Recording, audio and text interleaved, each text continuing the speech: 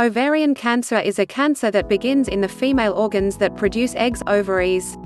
Ovarian cancer often goes undetected until it has spread within the pelvis and stomach. At this late stage, ovarian cancer is more difficult to treat and can be fatal. A hysterectomy is not often a procedure that needs to be performed urgently, except in the case of cancer. Therefore, a woman considering the procedure should take time to investigate all her options, including other possible treatments. There are now new treatments for conditions that previously would have required a hysterectomy. Women advised to have a hysterectomy for a non-cancerous condition before being offered more conservative treatments may find it beneficial to seek a second opinion. Deciding whether to have a hysterectomy can be a difficult and emotional process. By becoming informed about the procedure, women can confidently discuss available options, concerns and wishes with their doctor, and make a decision that is right for them.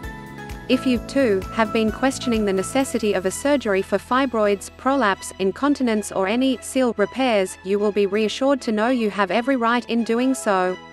The decision to undergo surgery of any kind is often difficult, so it is often useful to explore other alternatives before moving forward. Women, especially around the time of menopause, are too often advised to have major gynecological surgery for minor conditions that can be significantly improved with natural alternatives. Every 10 minutes, 12 hysterectomies are performed in the United States. That is over 600,000 per year, of which only 10% are due to cancer. This surgery most often does not correct the diagnosed problem and instead results in new afflictions. And, argues Dr. Stanley West, author of The Hysterectomy Hoax, 9 out of 10 hysterectomies are unnecessary. We need to ask? How have these surgeries impacted the quality of life for women? Nowhere in the gynecological literature did the study address the number of women for whom sex had become painful or impossible.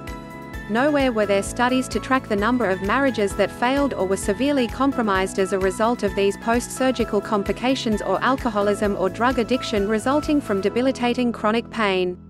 Women who have been hysterectomized experience a myriad of negative side effects, including chronic pain and fatigue, depression, and pain during sex. These are only a fraction of the long list of unwanted symptoms reported by women after surgery. So, if you decide, or have already decided, that surgery is not an option, you are probably asking yourself, now what? I have asked myself this same question. But I will tell you, there is no quick fix. As women we must understand our bodies to care for them in a positive way.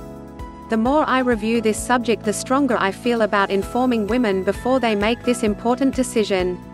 Prevention is the key and hormone balance is the answer.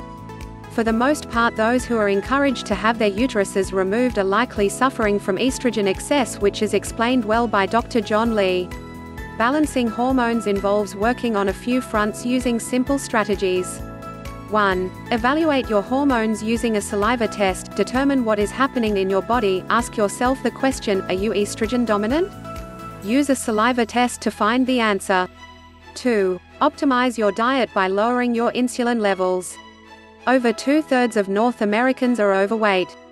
This extra weight increases insulin levels causing estrogen dominance to increase. Eat 40, 30 30ths. 3. If the saliva test shows the need, use a natural progesterone cream in the process of rebalancing your hormonal system. 4. Exercise to reduce excess estrogen and to eliminate toxins. 6. Supplement with wisdom using our hormone balancing program of fiber, indoles, EFA, multi, fruit and veggie essence, calcium. Requires a medical diagnosis Ovarian cancer often has no symptoms in the early stages.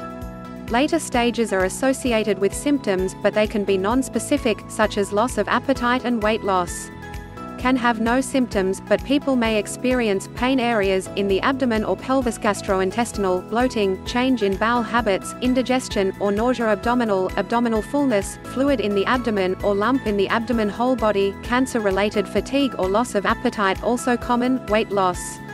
The standard treatment for ovarian cancer consists of debulking surgery followed by six rounds of chemotherapy.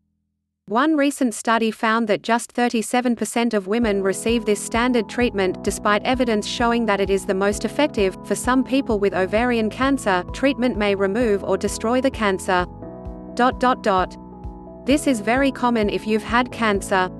For other people, ovarian cancer never goes away completely. Some women may be treated with chemotherapy on and off for years. The primary treatment for stage 1 ovarian cancer is surgery to remove the tumor. Your doctor might recommend also removing the fallopian tubes or nearby lymph nodes. A hysterectomy, which is a procedure to remove the uterus, is usually unnecessary.